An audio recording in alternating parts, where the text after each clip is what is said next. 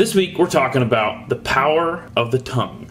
We use our tongues all the time to talk, to eat, to taste, to chew and to swallow.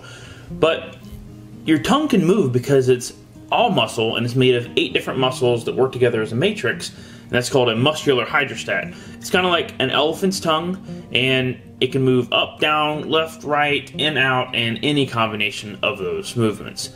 And while our tongue helps us eat, including taste, which is amazing, Today we're looking at the power of the tongue through speech. And our verse this week comes from James chapter 3, verses 3 through 5. Behold, we put bits in the horses' mouths, that they may obey us, and we turn about their whole body.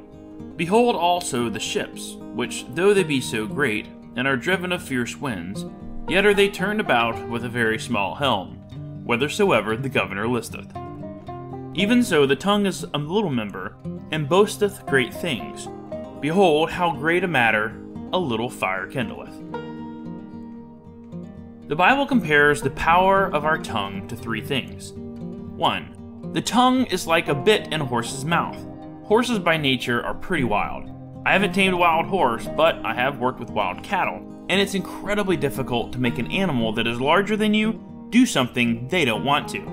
But wild horses are quote unquote broken, and with a bit in a horse's mouth, you can stop or turn the whole animal just by tugging on that little piece of metal in its mouth, called a bit. Our tongue is like that bit. Number two, the tongue is like the helm of a ship. A helm is basically a ship's steering wheel, which is connected to a rudder under the ship. The ship's captain can turn that tiny little wheel up top, and this massive ship that may weigh several tons will turn. Both the helm and the rudder are only a fraction of the size of the rest of the ship but it has the power to direct a ship safely through a storm or to run it aground. Our tongue is like that helm. Number 3.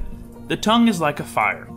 Fire is not always bad. It can give us light, it can keep us warm, and can cook our food. Just this past week, I used a tiny little propane camp stove to cook fish in the cold. That fire was a wonderful thing. But when I was younger, lightning struck my house and caused a fire in our house. My brother, myself, and our friend were in that house, and at that point, fire was a very bad thing. Fire has the power to cook and to burn, it has the power to give life and to bring death. Our tongue is like that fire. So, our weekly question is How has your tongue been used this past week? Have you used it to bring life or to bring death? Have you used it to build up or to tear down? A weekly challenge is to think of three ways that you can use your tongue for life. And not only think of those three things, but actually find somebody and use your tongue for life three times. And so you can do that by telling someone they've done a good job, thank someone who's helped you, or give a compliment. Now, be careful to avoid flattery or even the appearance of flattery because that comes across as an insincere compliment and that's a negative, not a positive. Um, and so how do you tell the difference? Well, flattery comes from the teeth, but a compliment comes from the heart. Thanks for joining me.